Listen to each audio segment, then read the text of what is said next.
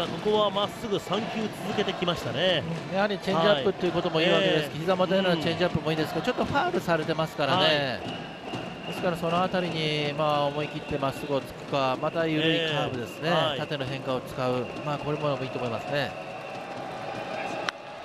ピッチャーはセンター前に抜ける。秋山三塁キャンバスを蹴った。ボールはバットホームできない。1対1同点。住谷タイムリーヒット住谷は昨日に続いてタイムリー。ライオンズがすぐに同点に追いついています。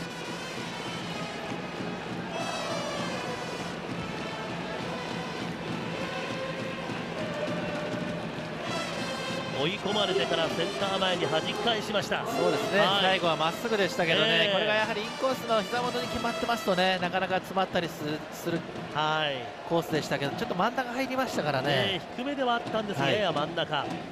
そのボールを炭谷が逃しませんでした。